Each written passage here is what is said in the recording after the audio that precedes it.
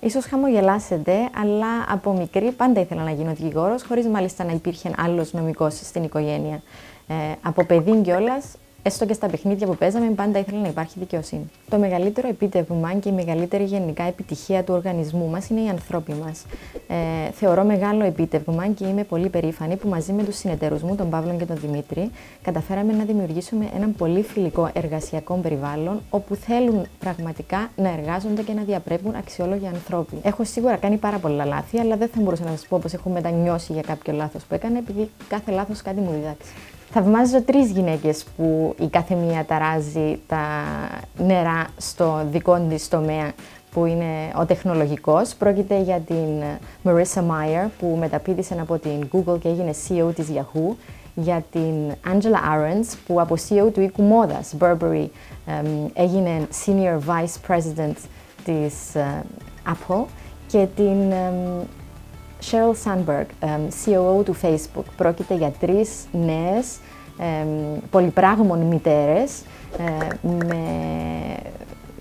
ιδιαίτερες ιδέες που δεν περπατούν την πεπατημένη οδόν, σκέφτονται έξω των ε, τεντρημένων, ε, νοιάζονται για τους υπαλλήλους τους ε, και έχουν ιδιαίτερα υψηλή αισθητική που νομίζω ότι όταν παντρεύεται με την επιχειρηματικότητα και αυτό συμβαίνει συχνά όταν υπάρχουν γυναίκες είναι μια μυστική αλλά σχεδόν σίγουρη συνταγή για την επιτυχία. Αν και λέτε πολλά 20 χρόνια πριν, ήμουν σχολείο ακόμη, ε, η συμβουλή που θα έδινα στον εαυτό μου θα ήταν, ε, και γνωρίζοντας τι θα ακολουθούσε, θα ήταν να είχα λίγη περισσότερη υπομονή και να μην βιάζομαι τόσο πολύ να βλέπω αποτελέσματα.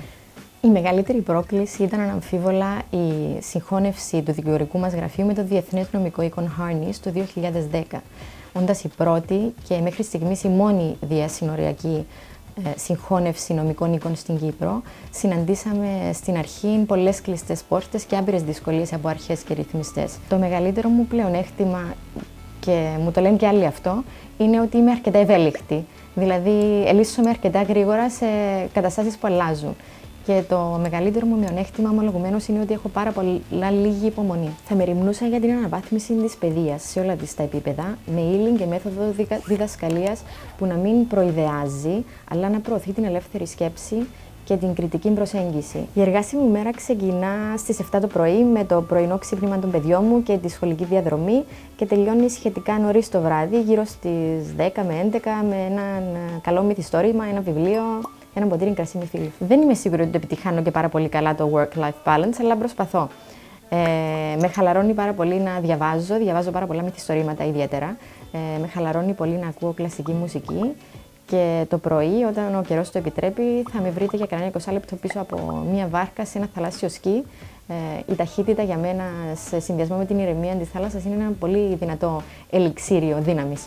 Το τελευταίο βιβλίο που διάβασα είναι ενός πολύ αγαπημένου συγγραφέα του Kazuo Ishiguro και πρόκειται για το The Buried Giant. Ε, πραγματεύεται με τρόπο πολύ απλό αλλά έντονα συναισθηματικό τις ευεργετικές πτυχές της αμνησίας και του να μπορείς να συνεχίζεις την πορεία σου τάμπουλα ράζα.